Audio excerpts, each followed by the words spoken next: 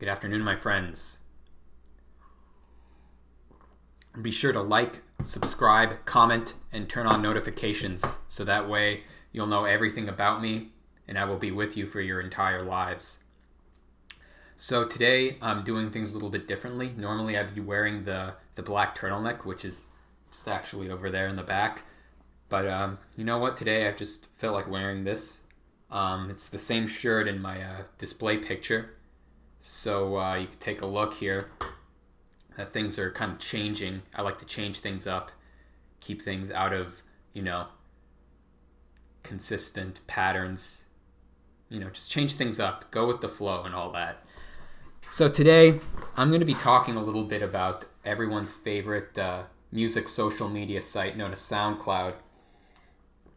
Although I should say X favorite because not many people are utilizing it anymore people have switched over to more legitimate streaming services such as Spotify and Apple Music, and uh, the one owned by Jay Z, uh, t- Tidal, if you use that. Um, so yeah, I want to go into that because I think it's an interesting arc in music history that isn't really discussed that much. It's sort of put on the down low, like it's we kind of know what happened with SoundCloud, but no one's really going in depth with it. Or maybe they are, I just haven't really done a lot of YouTube research into it, but it's just something that I have observed. So we can sort of pinpoint, um, you know, the golden age of SoundCloud or the up and coming of SoundCloud, which I would say was around 2012, early 2010s, basically, was when SoundCloud started picking up steam and it was sort of this website where you can upload music in any format and you know share it to the world. And you know this was sort of a new realm. Um, uh, myspace was doing this before but soundcloud changed it with this notion of reposting and likes and whatnot. So it sort of turned it into a twitter but for music which you know in terms of growth as an artist you could experience was exponential because of the reposting feature and because of this, when SoundCloud rose to its golden height around 2014, and it was in that stage until I would say about 2017, 2018. 2017 was definitely when you started to see the decline, even 2016 slightly. But during that peak, you would see, you know, thousands of producers, you know, just growing exponentially in terms of followers, likes, reposts, and it was this whole network of all these producers working with each other. And the thing that I realized about it that was very interesting was that a lot of this fandom that these producers were experiencing, this somewhat fame, was predominantly from other producers. And this was big mirage that I even realized myself and seeing who was consuming my music, who was liking it, who was reposting it. It was mostly other musicians. And this was part of this huge network boom of musicians just liking and sharing. And this was kind of an abundant period in terms of that sort of market and sort of consuming this these likes and reposts. And it was an interesting time because, you know, you could be any anybody and you make you know a well produced track. And that was the main thing was that it was very heavily based off of trap beats and how well you could produce it to the point where people were just basically flexing their production skills and showing how many drum fills they could do. It was kind of excessive but it's sort of like a, a baroque uh, equivalent in the current scope of music of just a lot of really talented composers just trying to outdo each other. How many notes can we make? How many how many drum fills can we create? How much soundscaping? How much you know? It, it, you look at some of the project files for some of this music, and it's just ridiculous about how much shit was being pumped. And I wouldn't say this is a good or bad thing. I think in a lot of cases it's excessive. I don't. I definitely don't fall under the category of you know, the more the better. Um, a lot of music that was that came out during that time was very its emphasis was placed very much on how much you could create and how condensed it could be, right? Like how much you could create in the span of about two minutes because that was pretty much the baseline of length in terms of music at that time in that sort of sphere, so to speak. And that was, um, it, it was cool because I was involved in that and I knew a lot of people who were involved in that and got a lot of, you know, followers and hits from that.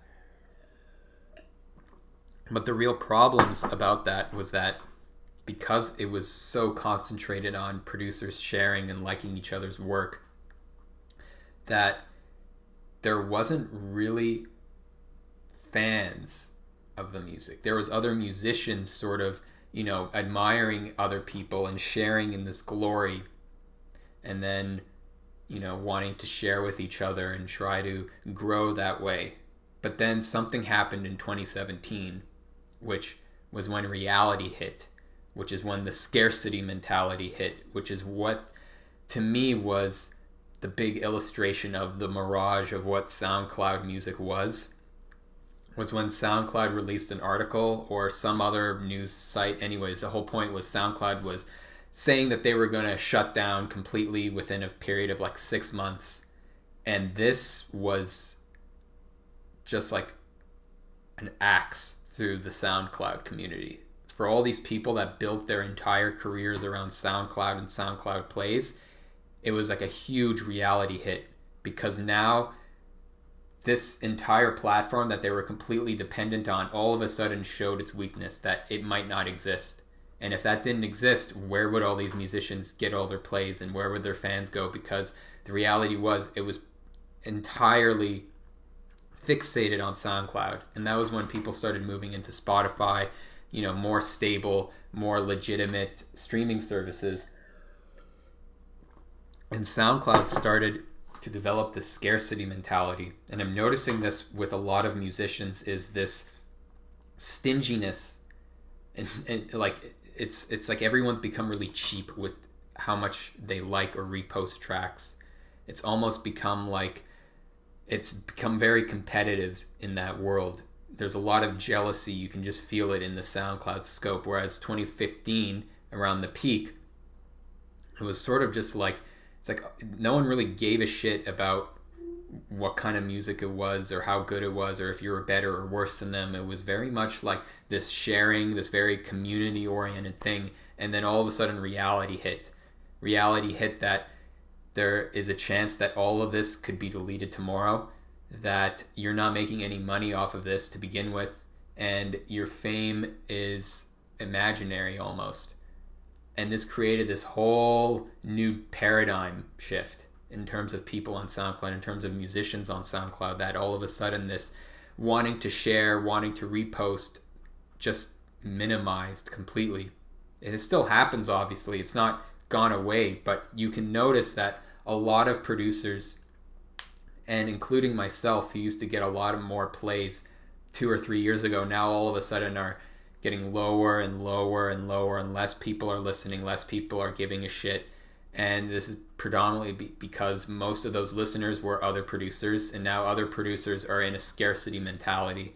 They're in a lack mentality, a lack of, I don't have enough plays, I don't have enough likes. And because of that, they might see other people as competitors. Like, I don't want them to have as much likes as me or whatever and so they're more stingy on that realm. Regardless of how good the music is or if they genuinely like it or not there is this vibe going out. Just this general scarcity lack mentality within SoundCloud and music in general which I find pretty interesting. It's sort of happened on Bandcamp as well um, but Bandcamp is a little different because it's more geared towards fans of music rather than actual musicians, although a lot of musicians buy music on Bandcamp. It's a little bit different in that regard. And Spotify is a little bit more difficult to gear as to who's listening to what because because of SoundCloud there's sort of a log of people that you can see who listens to your music based on people who like it and people who repost it. On spotify it's a little it's a lot more anonymous. You don't really know who is listening. You just get a general sense like a show the cities these songs are played in.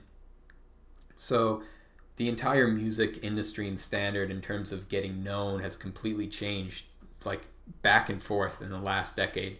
Because like it went before SoundCloud, it was like you know good old fashioned days, get on a label, get promotion, you know, pay some money, and then SoundCloud sort of changed that where it was you know let's get music out there through the people and through people sharing and reposting and liking, and then all of a sudden everyone started competing with each other on that level because now all of a sudden these likes and these reposts were like a scarce resource to have.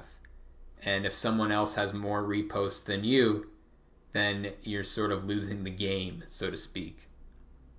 Which I don't think people are going to admit that up front because, you know, this is a very toxic, envious mentality, but it exists within everyone. I don't care who you are, how enlightened you may claim to be, there is envy, there is jealousy in everyone.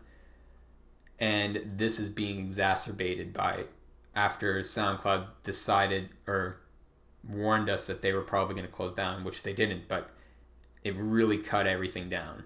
And now no one really uses SoundCloud that much anymore, and they've switched over to Spotify. So, you know, there's not really much else to go into that topic. I just thought I'd address it because it was something on my mind and something that I wanted to speak about. Um, so, overall, that's about it. And uh, I hope you have a wonderful day.